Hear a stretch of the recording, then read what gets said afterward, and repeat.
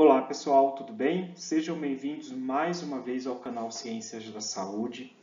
E esta é a primeira aula, é, que na verdade essa aula é uma introdução aos bacilos gram-negativos. Muitos aqui no canal me mandaram mensagens aqui nos comentários solicitando é, uma, na playlist é, aulas sobre bacilos gram-negativos. Então essa, como eu falei, é a primeira aula, que na verdade é uma introdução. Eu acho que é muito importante, antes de vocês assistirem qualquer outra aula em que eu irei colocar é, disponibilizar aqui no canal falando sobre é, espécies de bacilos gram-negativos, assistir essa primeira aula que é uma introdução onde eu vou estar deixando algumas informações que são importantes é, no contexto, né, é, para entender, na verdade, né, é, sobre a importância de se estudar, na verdade, diferentes espécies, ou seja, diferentes tipos de bacilos gram-negativos. Então, nessa aula, eu vou falar mais especificamente da família Enterobacteriaceae, que é uma família né, onde é, apresenta diversos tipos, né, se tem aí diversas espécies de bacilos gram-negativos. Então, Enterobacteriaceae é uma grande família de bacilos gram-negativos encontrados principalmente no intestino grosso de humanos, né? assim como em outras espécies de animais, e muitos é, desses bacilos gram-negativos são membros da nossa própria microbiota normal intestinal. Então, esses organismos são os, principalmente, os principais, na verdade, perdão, anaeróbios facultativos do intestino grosso. Então, lá no nosso intestino grosso, nós temos bactérias tanto é, anaeróbias facultativas, né? ou seja, bactérias que crescem tanto na presença quanto na ausência de oxigênio, como também existem as anaeróbias que são obrigatórias. Claro que comparando aí, nós temos muito mais bactérias anaeróbias obrigatórias, como por exemplo as bacterióides, do que bactérias anaeróbias facultativas. Mas nessa aula, como eu irei falar sobre espécies da família Enterobacteriaceae, eu irei falar de espécies que são anaeróbias facultativas, né? bactérias que podem causar infecções tanto intestinais como extraintestinais de importância clínica, certo?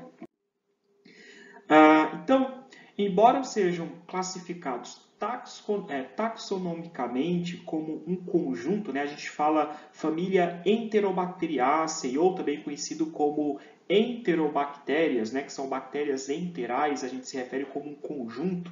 Porém, essa família, como eu já falei anteriormente, apresenta uma grande quantidade né, de gêneros, ou seja, de patógenos, né?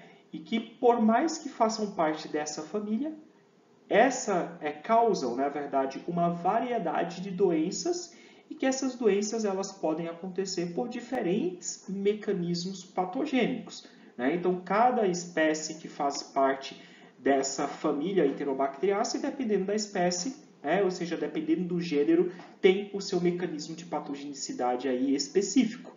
Não é porque todas fazem parte de uma, de uma mesma família, de um mesmo grupo, que apresentam o mesmo mecanismo patogênico. Espero que vocês tenham me entendido nessa questão. Então, aqui nessa primeira tabela, nessa aula, eu irei mostrar algumas tabelas com algumas informações que são importantes. Aqui nós temos é, doenças causadas por membros da família Enterobacteriaceae. E aqui nós temos os principais patógenos, ou seja, os principais micro-organismos, as principais é, bactérias, né, ou seja, os principais bacilos gram-negativos que são patogênicos. Então aqui nós temos diferentes gêneros, né, o gênero Escherichia, Shigella, Salmonella, Klebsiella, Enterobacter, Serratia, Proteus e Yersinia.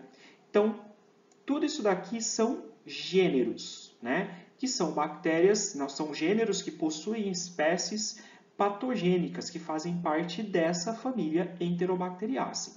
E aqui na frente nós temos as suas respectivas doenças, né? suas respectivas infecções, como por exemplo a Escherichia coli causa infecção do trato urinário, causa diarreia do viajante, meningite neonatal, Shigella causa disenteria, salmonela, febre tifoide, enterocolite. Aí temos aqui diferentes gêneros que causam tanto pneumonia, né, infecção pulmonar, como também infecções do trato urinário, proteus causa infecções do trato urinário e a Yersinia causa a famosa peste bubônica, tenho certeza que todos vocês já ouviram falar, enterocolite e adenite mesentérica. Então aqui nós temos é, diferentes gêneros e suas respectivas doenças, né? as doenças mais representativas de cada um desses gêneros aqui, que fazem parte dessa família Enterobacteriaceae.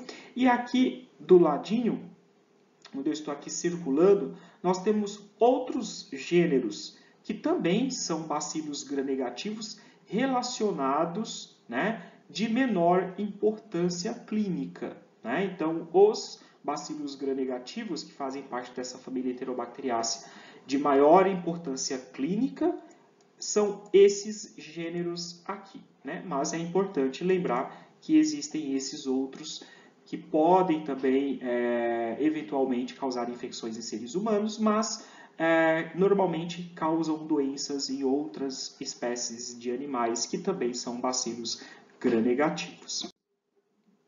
Aqui eu tenho algumas características, né, características gerais importantes, que essas características gerais elas são inerentes a, a, a, a diferentes espécies, as espécies, na verdade, né, de bacilos gram-negativos, uh, como, por exemplo, são bactérias anaeróbias facultativas, que é o que eu já comentei inicialmente, que no intestino grosso a gente tem bactérias que são anaeróbias facultativas e as anaeróbias obrigatórias. Se você for comparar, obviamente lá no intestino grosso nós temos muito mais anaeróbias obrigatórias do que facultativas, mas as que são mais importantes para a medicina né? ou seja, bactérias que podem causar infecções, são as anaeróbias facultativas, que são as mais estudadas. Tudo bem? Então, além de serem anaeróbias facultativas, essas espécies são catalase positivas, ou seja, são bactérias produtoras de enzima catalase, são oxidase negativas, com exceção da Pseudomonas, do gênero Pseudomonas, ah, em que é uma, um gênero que possui espécies que são oxidase positivas. É, os bacilos gram-negativos, né, de modo geral, têm uma característica importante com relação à sua capacidade de obter energia, que é de reduzir nitrato em nitrito.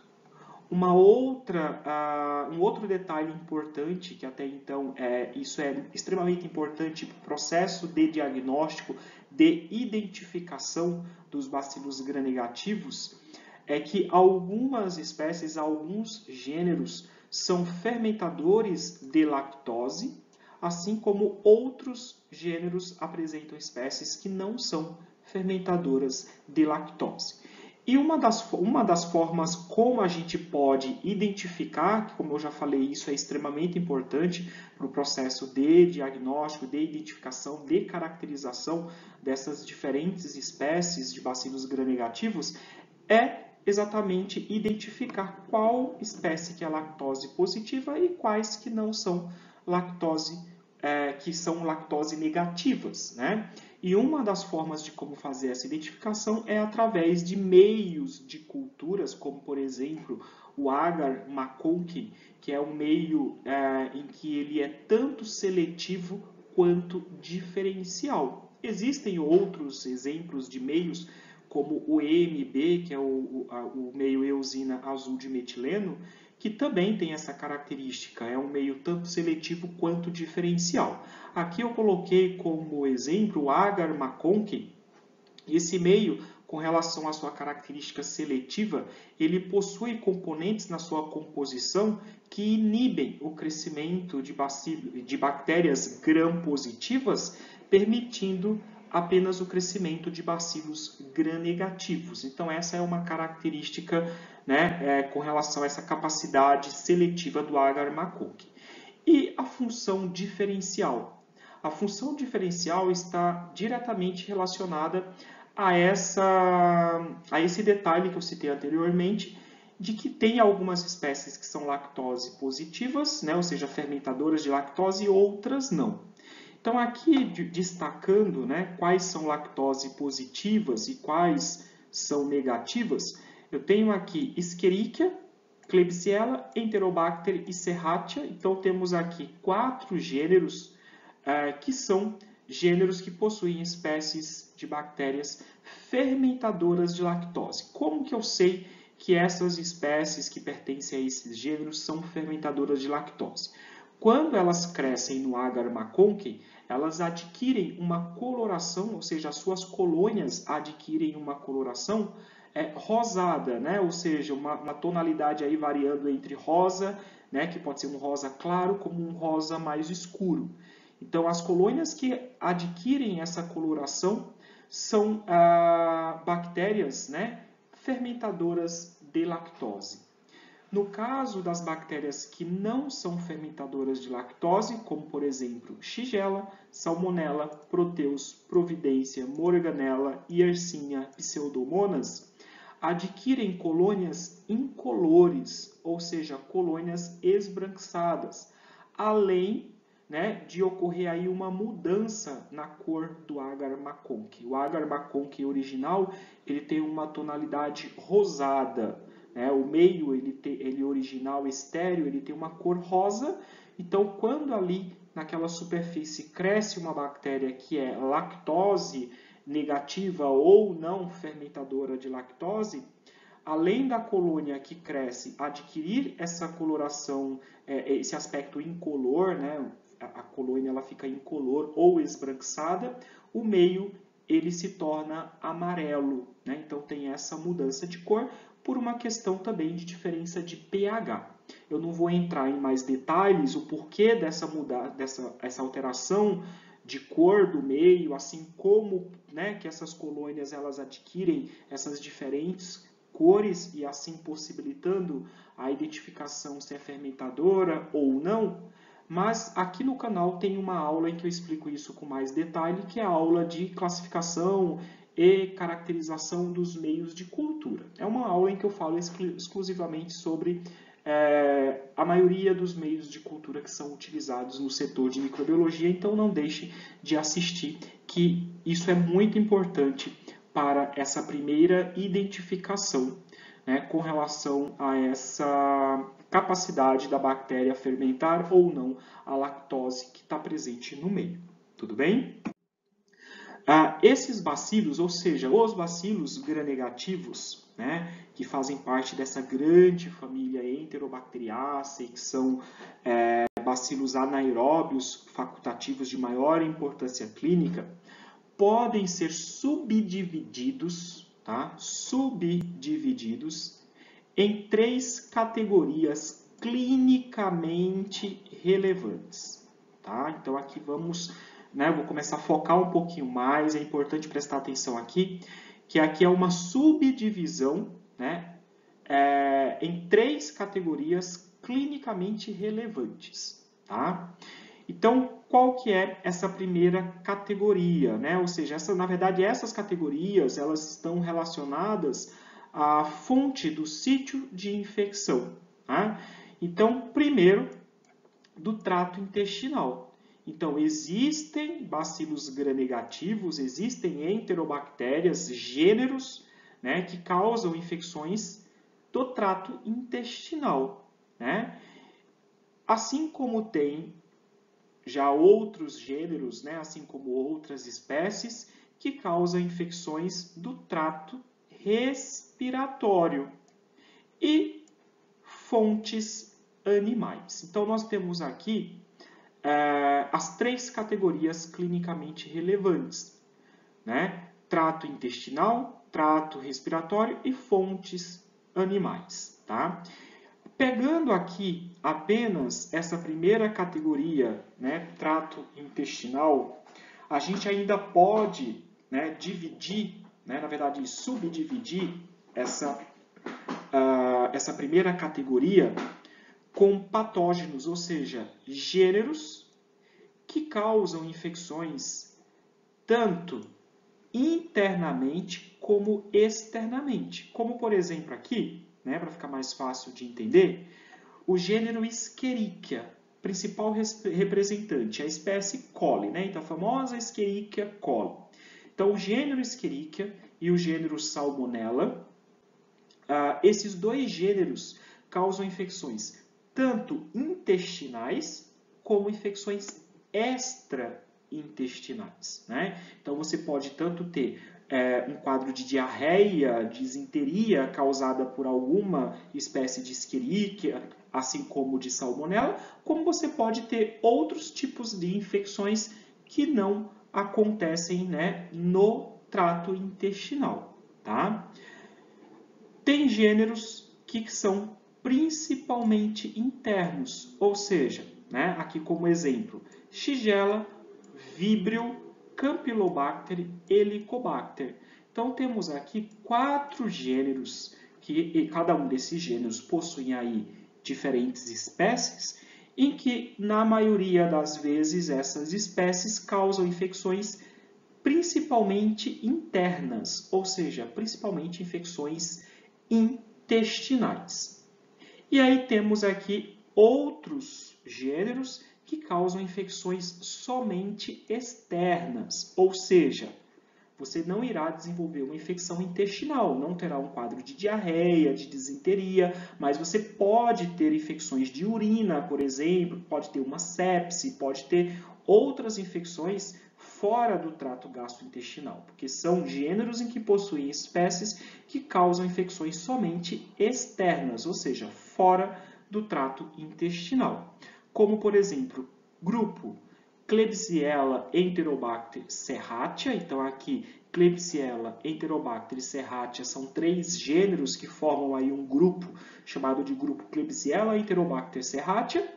Temos o grupo Proteus providencia morganella, que também são outros três gêneros, além de pseudomonas e bacteroides. Tá? Então, aqui são diferentes gêneros. Agora, com relação ao trato respiratório, temos aqui o gênero Haemophilus, Legionella e Bordetella, tá? E fontes animais, Brucella, Francisiella, Pasteurella e Yersinia.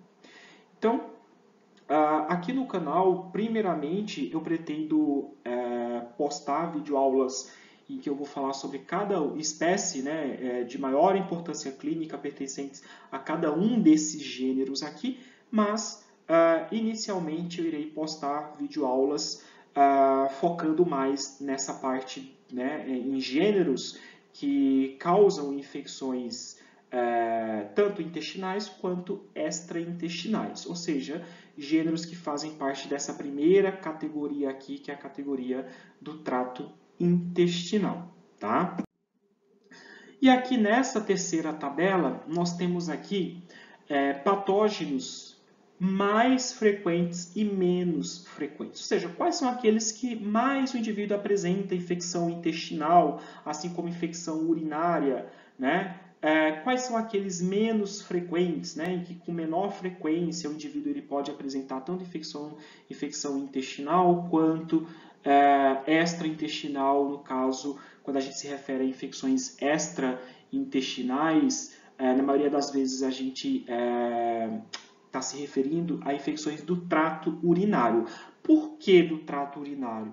Porque como ah, uma das principais formas da gente entrar em contato com bacilos gram-negativos é através de material fecal, né? Porque ah, a maioria dos bacilos gram-negativos de maior importância clínica, eles colonizam, né? eles, eles estão presentes no nosso intestino grosso, alguns fazendo parte da, da parte da própria microbiota intestinal, como outros não, mas uma forma comum é através da eliminação das fezes, e o, o aparelho é, urinário, né, no caso, é, a, a, via urinária, o canal da uretra, né, tanto masculino quanto feminino, principalmente pensando na questão da mulher, está muito próximo ali da região anal, então ah, acaba tendo infecções do trato urinário com maior facilidade. Claro, se você for comparar entre o homem e a mulher, pensando nessa questão da própria anatomia, né, a mulher ela é muito mais suscetível a ter infecção urinária né, bacteriana do que o homem por conta dessa proximidade do, da região anal, assim como também pelo tamanho do canal da uretra, facilitando assim a chegada desse microorganismo até a bexiga urinária. Tá? Então aqui nós temos é, nessa tabela patógenos frequentes e patógenos menos frequentes. Né?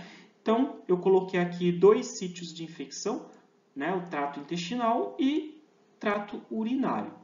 Então, com relação ao trato intestinal, ou seja, que causa infecções intestinais, quais são os patógenos mais frequentes e os menos frequentes? Então, pensando aqui nos patógenos frequentes, salmonela, né, que é responsável por causar a famosa salmonelose, shigella causa shigelose, né, que é uma infecção intestinal também, e Campylobacter, inclusive aqui no canal já postei uma aula falando sobre Campylobacter. Né? Então, Salmonella, Shigella, Campylobacter são os patógenos, são exemplos de bacilos gram-negativos que causam infecções intestinais com maior frequência.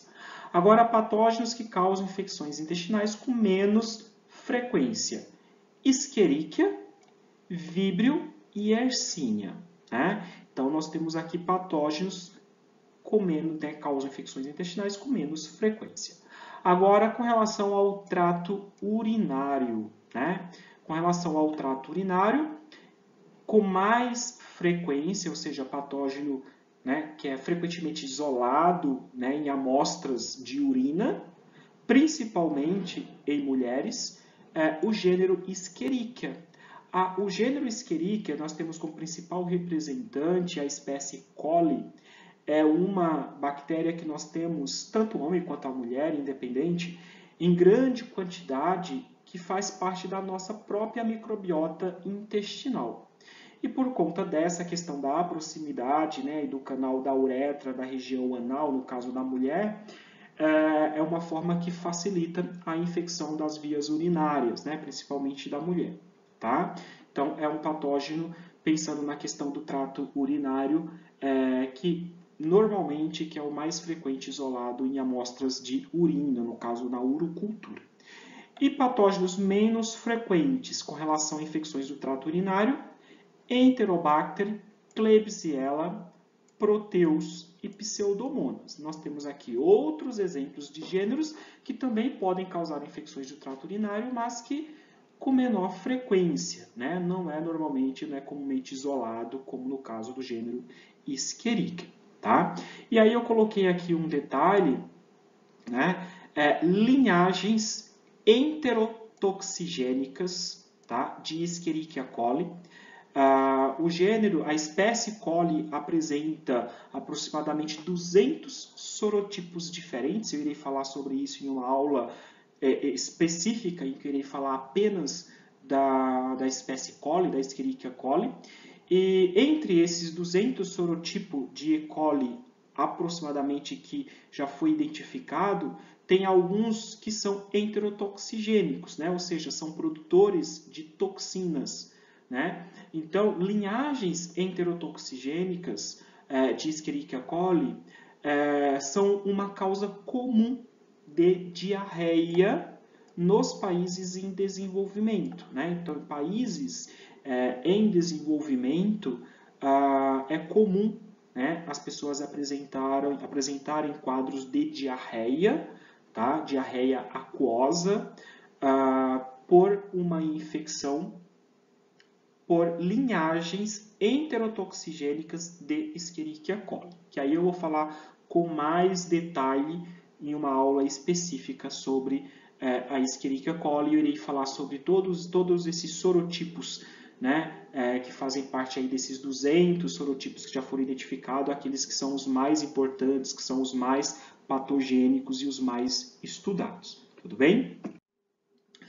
Uh, agora, com relação aos mecanismos né, de patogenicidade, então, os bacilos gram-negativos de importância médica que são responsáveis por causar diarreia, né, que a diarreia é um, um, um sinal clínico né, de que alguma coisa de errado está acontecendo dentro do intestino do indivíduo, em que ele apresenta um quadro de diarreia aquosa, né, fezes líquidas. Então, dependendo do gênero, dependendo da bactéria do bacilo gram-negativo é, que está causando esse quadro de diarreia, pode ser por mecanismos diferentes, tá? Então, eu destaquei aqui três mecanismos diferentes, então, ah, mediados por enterotoxina, ou seja, você pode ter uma infecção intestinal por algum bacilo gram-negativo, e aí, decorrente dessa infecção, você está apresentando um quadro de diarreia, diarreia aquosa, né? ou seja, uma diarreia é, totalmente, uma, são fezes né, completamente líquidas, tá? Ah, ou seja, com uma quantidade de água muito, muito grande. Então, Escherichia coli, né? então você pode ter uma infecção intestinal por Escherichia coli, é, por linhagens enterotoxigênicas, como já citei anteriormente, em que você irá apresentar um quadro de diarreia, né, tendo como mecanismo responsável né, por esse quadro de diarreia toxinas que a Escherichia coli está produzindo lá no intestino. Então, essas toxinas que são produzidas, né, chamadas de enterotoxinas, elas irão interferir na capacidade de absorção né, pelos enterócitos, assim como contribuindo para uma maior secreção de líquido para a luz do intestino, fazendo com que a pessoa apresente aí essas fezes aquosas. Né?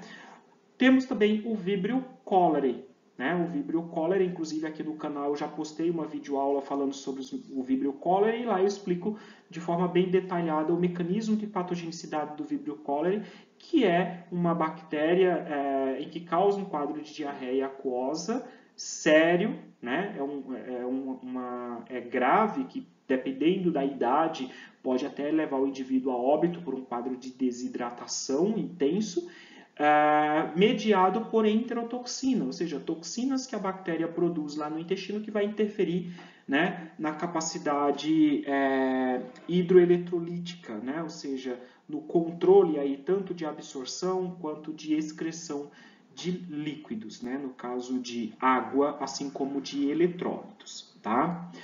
E tem aquelas, aqueles bacilos gram-negativos que têm uma capacidade invasiva e inflamatória. Né? Quando eu falo assim, uma capacidade invasiva e inflamatória, é que consegue invadir os enterócitos, que são as principais células que constituem a mucosa intestinal.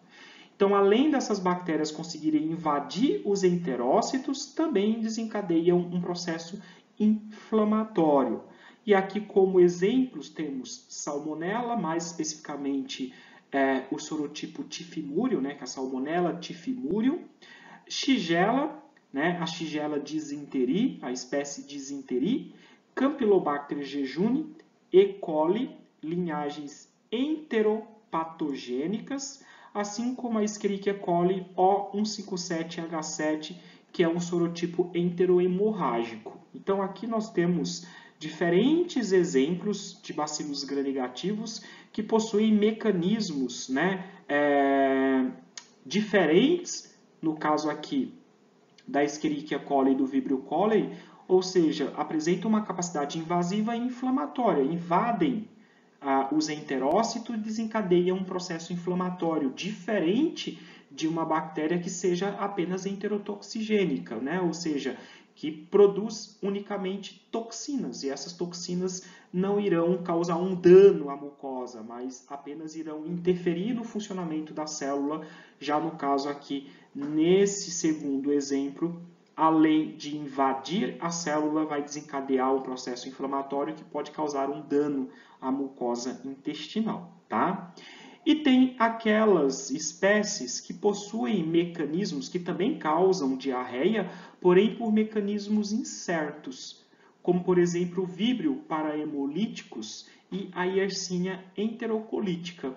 Então, víbrio para hemolíticos, algumas linhagens produzem enterotoxina, né? então podem causar é, um quadro de diarreia por produzirem enterotoxinas, toxinas, né? porém o seu papel patogênico não é claro, não está claro ainda, né? não é tão é, definido como, por exemplo, o Vibrio cholerae. Tá?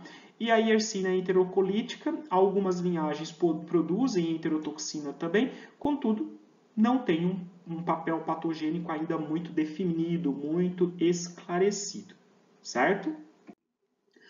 Uh, aqui nessa tabela nós temos diferentes né, é, gêneros, assim como espécies de bacilos gram-negativos que são é, responsáveis por infecções do trato urinário ou sepse. Então, preste atenção. Anteriormente eu falei com relação a gêneros, espécies que causam diarreia, que é um quadro clínico intestinal, né? Ou seja, é uma infecção intestinal interna. Agora eu vou falar aqui sobre infecções do trato urinário ou sepse, ou seja, são infecções também causadas por bacilos gram-negativos, por enterobactérias, ou seja, espécies, gêneros que fazem parte da família Enterobacteriaceae, porém causam é, infecções extraintestinais, infecções fora do intestino. Claro que uma mesma que causa uma infecção intestinal, ela pode também causar uma infecção extraintestinal, já tem aquelas que causam unicamente infecções intestinais, assim como também tem aquelas que causam infecções apenas extraintestinais, tá? No caso, apenas infecções do trato urinário, por exemplo. Então, aqui ó, temos a Escherichia coli. Então, a Escherichia coli é um exemplo de bactéria que pode causar infecção tanto intestinal como extraintestinal. Claro que com maior frequência infecção extraintestinal, no caso aí principal exemplo, né, infecção de urina, infecção do trato urinário, que é o que nós, eu já citei numa aula anteriormente, né, nos slides anteriores. Enterobacter clocae né, é um outro exemplo aqui de bactéria que pode causar infecções do trato urinário, assim como causam infecções nosocomiais, e frequentemente exibe resistência a fármacos. Klebsiella pneumoniae apresenta é, grande cápsula mucoide, ou seja, é uma bactéria encapsulada. Eu já falei sobre isso, né, é, sobre as bactérias que possuem cápsulas, que são bactérias é, altamente resistentes, porque a cápsula é um grande fator de virulência que tanto interfere é, no mecanismo de, é, fagocitário, como também ah, pensando na questão de tratamento, na questão de antibióticos, são bactérias mais protegidas, né? Ou seja, não é qualquer antibiótico que vai conseguir passar através dessa cápsula. Então, a cápsula é um grande fator de virulência e nós temos aqui um exemplo, a Klebsiella pneumoniae, tá?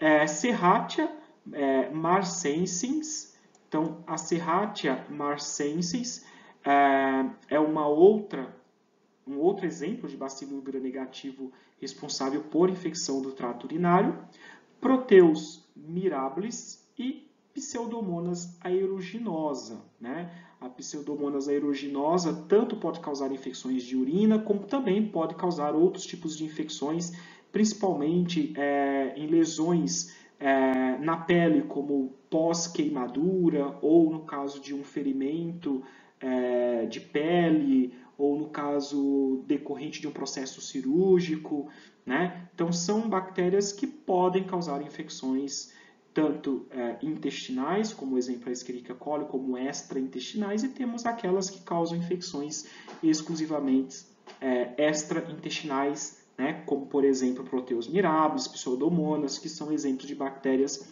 que normalmente causam infecções aí fora do trato gastrointestinal, tá? Ah, então, os pacientes infectados por patógenos entéricos, ou seja, por enterobactérias, eh, como por exemplo Shigella, Salmonella, Campylobacter, Yersinia, né, exibem alta incidência de determinadas doenças autoimunes, como síndrome de Reiter. Então, olha só, além da pessoa ter é, todas as complicações, né, como, por exemplo, um quadro de diarreia, disenteria, né, ou como outras infecções, né, infecção de urina, né, é, o indivíduo ele apresenta um risco ainda de, de desenvolver uma doença autoimune em decorrência dessa infecção é, primária né, que teve com qualquer uma dessas espécies, desses gêneros, né, de espécies desses gêneros aqui que eu citei. Então, a síndrome de Reiter, conhecida também como artrite reativa, é uma doença reumática com tendência à cronicidade. Né? Poxa, professor, mas como que, é, por qual mecanismo né, que eu tenho lá uma infecção, uma, uma shigelose ou uma salmonelose, né, que são infecções intestinais, e eu desenvolvo depois uma doença autoimune. Isso pode acontecer por uma reação cruzada, né, que a gente chama de reação cruzada, ou também conhecido como mimetismo molecular. Quando você tem uma infecção por uma determinada bactéria, é, o seu sistema imunológico ele vai desencadear uma resposta né, com a produção de anticorpos, assim como a produção de outros componentes do sistema imunológico contra aquele microorganismo. Só que aí esse microorganismo ele pode conter antígenos, né? É, onde você produziu anticorpos, por exemplo, contra esses antígenos, que são antígenos muito semelhantes a antígenos próprios, que podem estar nos seus tecidos, né, nas suas células. Então, em um determinado momento, né, uh, esses anticorpos, esses componentes do sistema imunológico, eles podem passar a identificar esses antígenos próprios por serem muito semelhantes a esses antígenos bacterianos e assim não tem capacidade de diferenciar se é um antígeno bacteriano ou não e aí desenvolve uma reação inflamatória né, nesse local onde haverá esse reconhecimento através dos componentes do sistema imunológico. Tá? Além disso, Infecção por Campylobacter jejuni, inclusive aqui no canal já falei sobre eh, essa espécie, predispõe a síndrome de Guillain-Barré. Né? A síndrome de Guillain-Barré também é uma doença de caráter autoimune. Ela é marcada pela perda né, da bainha de mielina, que é um revestimento que nós temos nos nossos axônios, né, dos neurônios, e dos reflexos tendinosos. É, fraqueza muscular progressiva ascendente é o principal sintoma da síndrome de Guillain-Barré.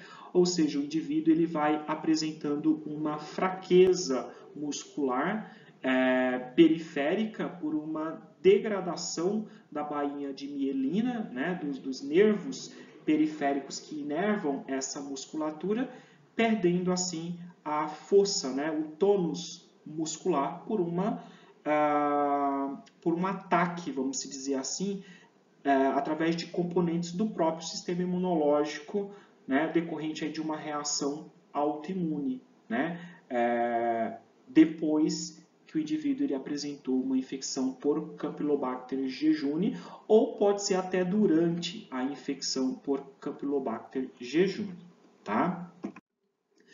Então, com relação à patogênese, aqui de modo geral, né, todos os membros da família Enterobacteriaceae, por serem gram-negativos, isso é algo que eu já discuti nas aulas básicas da microbiologia, lá na parte, na, na, nas aulas que eu falei sobre todas as estruturas que uma bactéria possui.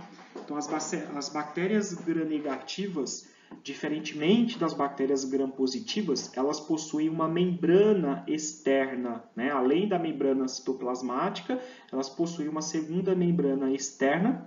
E na superfície dessa membrana externa, né, que é comum apenas nas bactérias gram-negativas, ah, contém endotoxinas, né? É, que é o famoso lipídio A. Né? Ah, além disso, essas bactérias, além de conterem né, endotoxina, o lipídio A, que o lipídio A ele faz parte de uma estrutura conhecida como LPS, né, que é o lipopolissacarídeo, a base desse lipopolissacarídeo que está aderida, que está presa à membrana externa das bactérias gram-negativas, é o lipídio A, né, que é um componente altamente tóxico, né, é, antigênico, que é responsável pelos sinais clínicos de uma infecção por um bacilo gram-negativos. Né? Então, por exemplo, aqui, ó, a Escherichia coli e o Vibrio cholerae secretam quando o indivíduo ele tem uma infecção, né, tanto por E. coli quanto por Vibrio, uh, independente do local onde esteja acontecendo essa infecção, essas bactérias, né, uh, esses bacilos gram-negativos, eles secretam exotoxinas, né, denominadas de enterotoxinas, caso essas exotoxinas elas estejam sendo produzidas lá no intestino, a gente chama de enterotoxinas, onde essas enterotoxinas elas ativam a adenilato ciclase no interior das células intestinais, no caso dos enterócitos, como nós podemos ver aqui. Né? Então, essas enterotoxinas elas conseguem ativar a adenilato ciclase, né, por uma ativação da proteína G, que está presente na face interna é, da membrana citoplasmática interna dos enterócitos, ativando assim a adenilato ciclase, e com essa ativação da adenilato ciclase haverá né, é, uma desregulação do mecanismo hidroeletrolítico das células intestinais, provocando um quadro de diarreia aquosa.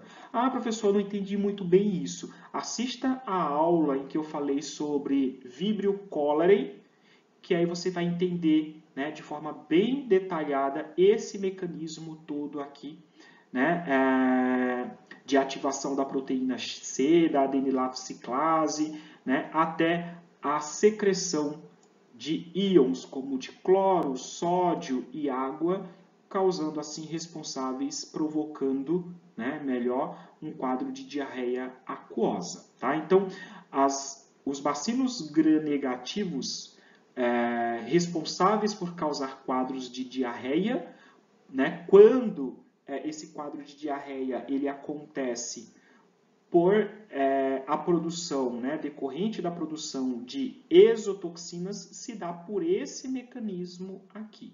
Tá? é importante lembrar que quando eu falei lá atrás de outros mecanismos que pode acontecer, tem a questão de algumas bactérias terem a capacidade invasiva, né? Só que aí já é diferente. Então, nesse caso, a bactéria ela vai conseguir entrar dentro do enterócito, ela vai destruir o enterócito, ela vai causar um processo inflamatório.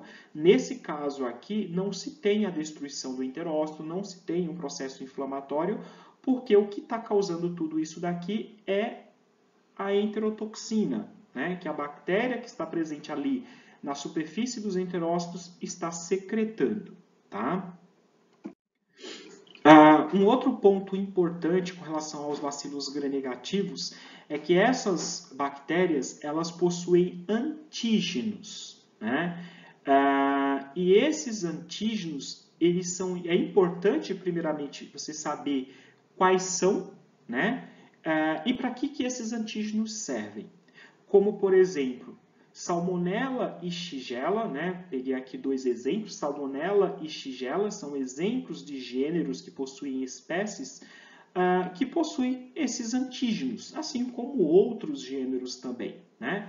E esses antígenos eles são importantes principalmente para a identificação né, é, no laboratório clínico, como também em caso de investigações epidemiológicas, né, com o objetivo de identificar é, especificamente qual é o sorotipo né, que está causando aquele surto de diarreia, aquele surto né, de infecção intestinal. E quais são esses antígenos que podem estar presentes nos bacilos gram-negativos? Lembrando que ah, são três, né, é, esses que eu estou destacando aqui, necessariamente a bactéria ela não precisa ter os três, ela pode ter apenas um, como pode ter dois, como ela pode ter os três, tá? Então, o antígeno O, também conhecido como antígeno somático, é um antígeno que está presente na parede celular, na parede da célula bacteriana, ah, mais especificamente na superfície né, ah, da membrana externa, que corresponde à parte externa do lipopolissacarídeo. Né? O lipopolissacarídeo, que é composto lá pelo lipídio A e por vários açúcares. Então, lá na extremidade, né? então aqui está a membrana externa, tem o lipídio A, e aqui estão os vários açúcares que formam aquela estrutura chamada de LPS. Então, aqui, na extremidade do LPS, né, nós temos ah, o antígeno O, né, o antígeno, ou antígeno somático, que corresponde a essa parte externa do lipopolissacarídeo. Tá? Então, o que isso significa? Que as bactérias gram-negativas, todos os bacilos gram-negativos, possuem o LPS. Então, elas possuem esse antígeno O lá na parte externa né, do LPS. O antígeno H é um antígeno flagelar, ou seja, está presente no flagelo. Encontra-se na proteína flagelar, que é uma proteína que está presente né, é, lá na composição do flagelo. Então, o que isso significa? Apenas em organismos flagelados, como por exemplo Escherichia e Salmonella, é possível identificar o antígeno H. Então, aquela bactéria que não é flagelada, que não possui flagelo, né, ela não possui esse antígeno H. E o antígeno K? O antígeno K é um antígeno polissacarídico capsular. Esse antígeno K, né, ou antígeno polissacarídico capsular, está presente apenas em bactérias que possuem cápsula. Né? Então, a cápsula, eu já discuti isso em outras aulas com vocês, é um fator de virulência, é uma estrutura facultativa, né? uma, estrutura não essencial, em que algumas bactérias possuem e outras não. Então, aquela bactéria que possui cápsula, ela contém esse antígeno K, né, que é o antígeno polissacarídico capsular, que está presente na cápsula polissacarídica. Então, apenas as bactérias que possuem cápsula polissacarídica é, contêm esse antígeno K. Né? Então, através desses antígenos, é possível identificar, fazer a identificação né, no laboratório clínico para identificação de um determinado sorotipo que esteja causando uma infecção, caso o médico ele solicite né, saber qual é o sorotipo específico, ou no caso de investigações epidemiológicas para determinar um determinado sorotipo responsável por algum surto de diarreia, algum surto né, é, é, de alguma infecção intra ou extraintestinal causado por algum tipo de bacilo gram-negativo. Diagnóstico laboratorial, né? Como que é realizado o diagnóstico laboratorial é, desses membros né, das, do, do, da família Enterobacteriaceae, né, dos bacilos gram-negativos. Então, existem, pensando aí ah, em meios de cultura, então, uma amostra biológica, uma amostra né, com suspeita é, de ali naquela amostra conter algum tipo de bacilo gram-negativos, a gente pode utilizar uma placa de agar-sangue, né? E um meio seletivo e diferencial. Quando eu me refiro a um meio seletivo e diferencial, eu posso citar aqui dois grandes exemplos né, de meios que são indispensáveis, em que a gente tem que sempre utilizá-los, né, não necessariamente os dois, mas pelo menos um dos dois, para um cultivo, né, para cultivar um, um bacilo gram-negativo que possa estar presente em um determinado material biológico, além do agar-sangue, que é um outro meio que ele não é seletivo e diferencial. O meio agar-sangue ele é unicamente diferencial, tá? Então, uh, esses dois exemplos de meio seletivo e diferencial, um é o agar maconque e o outro é o agar eosina azul de metileno, o famoso EMB. Por que, que esses dois meios aqui eles são indispensáveis, que a gente sempre tem que utilizar é, para o cultivo né, de uma determinada amostra biológica que se tem uma suspeita de infecção por algum bacilo gram-negativo. É que esses meios eles têm essa característica que eu já citei anteriormente de ser seletivo e diferencial. Eles têm a capacidade de isolar, ou seja, de inibir bactérias gram-positivas, permitindo o crescimento de bacilos gram-negativos. Então, isso já é uma, essa já é uma grande vantagem. Então, quando você observa um crescimento no agar-MB ou um crescimento no agar-MACONC, então você já consegue né, é, é, é, ver que ali né, é, possivelmente seja um bacilo gram-negativo né, por essa característica seletiva que esses meios apresentam.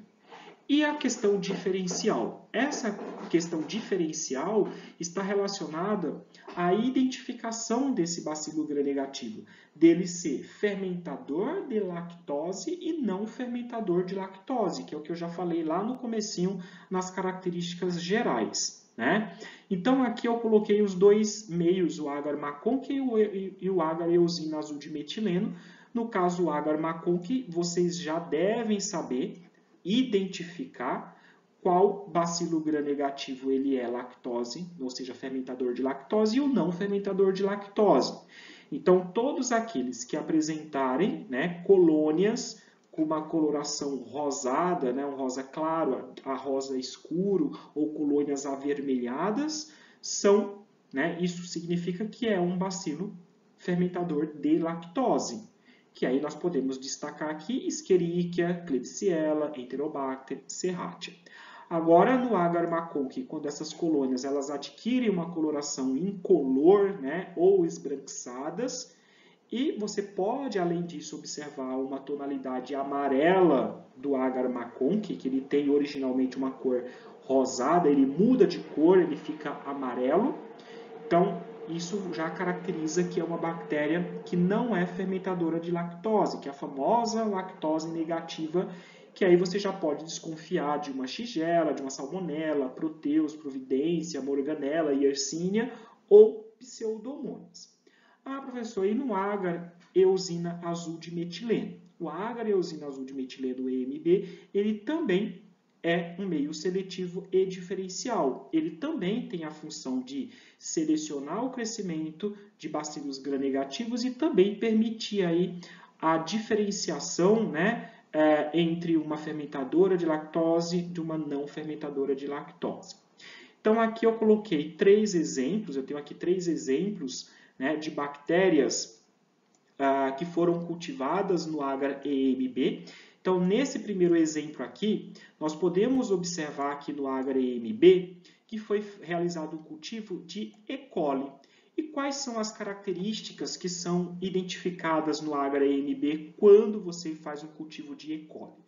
As colônias elas crescem nesse meio, primeiro, se houve um crescimento então, isso já te dá um direcionamento que trata-se de um bacilo gram-negativo. E aí você observa essas colônias pretas. Então, isso já é uma característica que a E. coli tem. Né? No agar-MB apresentam colônias pretas, né? colônias escuras. E além disso, o que, que a gente observa? A gente observa aqui onde houve o crescimento né, dessas colônias pretas escuras, a presença de uma tonalidade né, que a gente chama de verde metalizado. Né? Se você pegar o meio e mexer ele assim né, é, é, é, na luz, você consegue ver aí um, um, verde metalizado. Então isso é característico de Escherichia coli. Tá? Já no, a, a, nesse segundo exemplo aqui, nós temos a Klebsiella pneumoniae. A Klebsiella pneumoniae é também um bacilo gram-negativo. Quando esse, essa bactéria é cultivada no agar-NB, ela apresenta colônias azuis. Né? Então, essas colônias azuis, isso é característico né, de uma bactéria, de um bacilo gram-negativo, por ter crescido no agar-NB, e quando tem essa tonalidade azul, né, é característico de uma bactéria é, lactose positiva. Né? Então, aqui nós temos E. coli, que é lactose positiva, Klebsiella pneumoniae, lactose positiva. E quando a bactéria ela é lactose negativa no agar-MB? Vai apresentar, como por exemplo aqui Salmonella enteritidis, né? o gênero Salmonella, todas as espécies que pertencem a esse gênero são lactose negativas.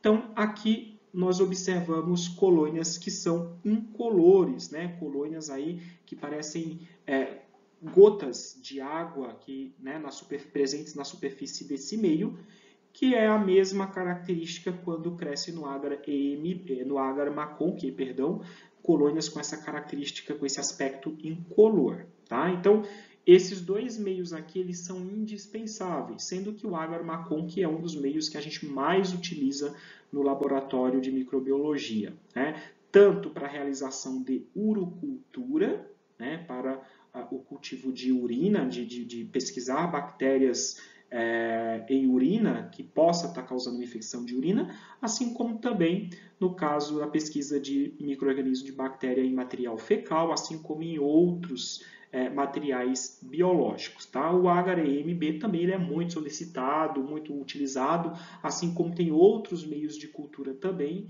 é, destinados ao, a, ao cultivo né, desses micro-organismos, como o HRSS e assim é, outros exemplos também, certo?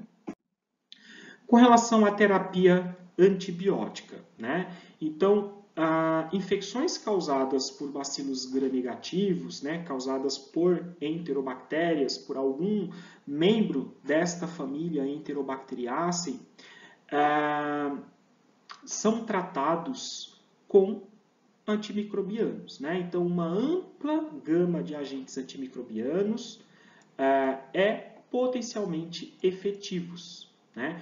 como, por exemplo, penicilina, cefalosporinas, aminoglicosídeos, clorafenicol, tetraciclina, quinolonas, sulfonamidas. Né? Então, aqui nós temos diferentes tipos de antibióticos que são altamente, potencialmente efetivos contra né, é, esses diferentes representantes, diferentes espécies de bacilos gram-negativos. Só que tem um detalhe muito importante. É, o ideal é que sempre antes da prescrição de qualquer um desses antibióticos seja realizado, né, claro, você precisa primeiro identificar qual é o microorganismo, qual que é a espécie, né, qual é o gênero e qual que é a espécie, realizar um antibiograma primeiramente. Né? Então aqui no, no canal, mais para frente, eu irei né, postar uma aula mostrando o passo a passo como que é realizado o antibiograma, para que serve o antibiograma. Né? Então, só adiantando, o antibiograma é um exame em que ele é realizado exatamente para identificar qual antibiótico que pode ser utilizado, né? qual antibiótico é sensível, qual antibiótico que é resistente para uma determinada bactéria que está causando uma infecção no paciente. Agora, por que, que recomenda-se que primeiramente faça um antibiograma para saber qual é o antibiótico? Muitos isolados de bactérias entéricas, ou seja, de bacilos gram-negativos, são altamente resistentes a antibióticos, né? devido a capacidade dessas bactérias é, terem a capacidade de produzir, de produção de beta-lactamases. Beta-lactamase é uma enzima né, em que essa enzima ela tem a capacidade de degradar, de modificar a estrutura química de certos antibióticos, como por exemplo os beta-lactâmicos, como por exemplo as penicilinas, assim como pode produzir outras enzimas que podem também modificar a estrutura farmacológica de outros fármacos.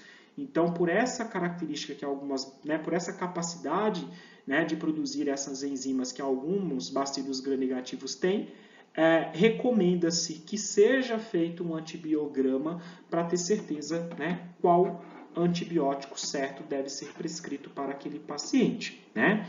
Além disso, né, além dessa capacidade dessas bactérias, algumas produzirem essas enzimas, ah, esses organismos né, frequentemente realizam conjugação.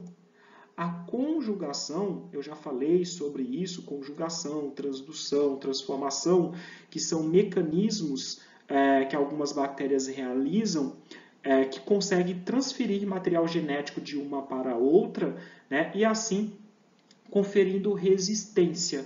Né? Então, alguns bacilos gram-negativos frequentemente realizam conjugação, adquirindo plasmídios, né? plasmídio R, que são plasmídios que possuem genes que medeiam a resistência a múltiplos fármacos.